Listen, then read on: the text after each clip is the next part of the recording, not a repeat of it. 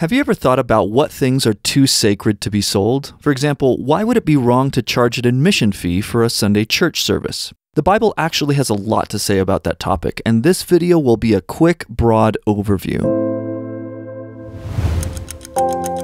The Dorean principle is the simple biblical teaching that accepting support as anything other than an act of co labor compromises the sincerity of Christian ministry.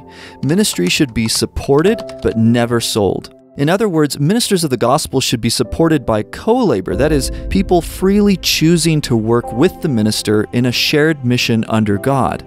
This also means that ministers should not be funded by reciprocity or a reciprocal exchange that says, You give me ministry if I give you money.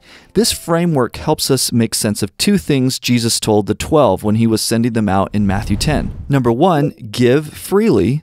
And number two, the worker is worthy of his provisions or wages. Here's the passage As you go, preach this message The kingdom of heaven is near. Heal the sick, raise the dead, cleanse the lepers, drive out demons. Freely you have received, freely give.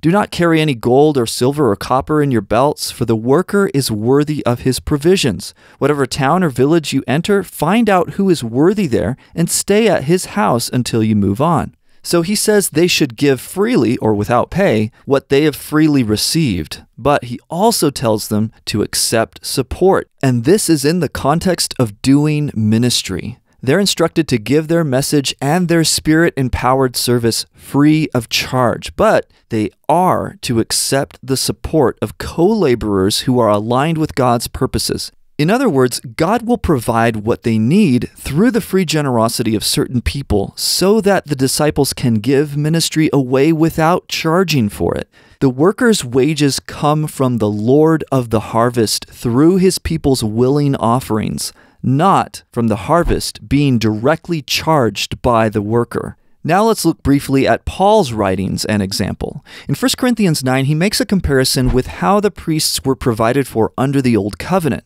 Do you not know that those who work in the temple eat of its food, and those who serve at the altar partake of its offerings? In the same way, the Lord has prescribed that those who preach the gospel should receive their living from the gospel. How did the Old Covenant priests get their food? God provided for them through the people's offerings. It would have been wrong for them to directly charge a fellow Israelite for their work. This can be seen in Micah 3:11 where he indicts Israel by saying, "Her leaders judge for a bribe, her priests teach for a price, and her prophets practice divination for money." Similarly, those who proclaim the gospel and offer Christian teaching are not permitted to charge for it, but rather should be supported by the free gifts of believers who want to partner with them in the work. In that same context in 1 Corinthians, Paul says that he has a right to be supported in his work. But we did not exercise this right. Instead, we put up with anything rather than hinder the gospel of Christ. Paul was concerned that if he accepted support from them for his work in Corinth, the Corinthians, in their immaturity, might give to him as a way of paying him back for his preaching, which would be a situation of reciprocity rather than freely supporting him as co laborers. However, Paul did intend to accept support from the Corinthians in being sent by them elsewhere. In 2 Corinthians 1:16, for example, since in that case it would be clear that they were working with him, not paying him back like customers. So in his work, he accepted and commended co labor, but he rejected reciprocity.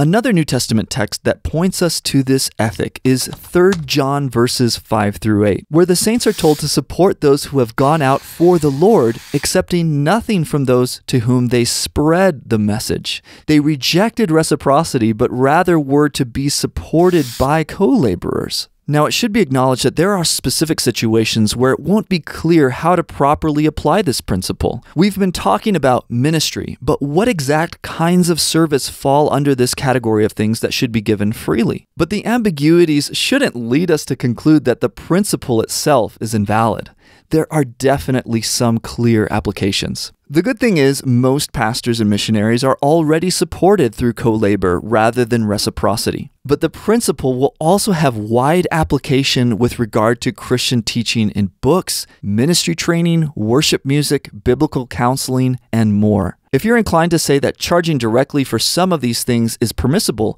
ask yourself if the same reasoning could be used to justify charging for a Sunday sermon, or the Lord's Supper, or prayer.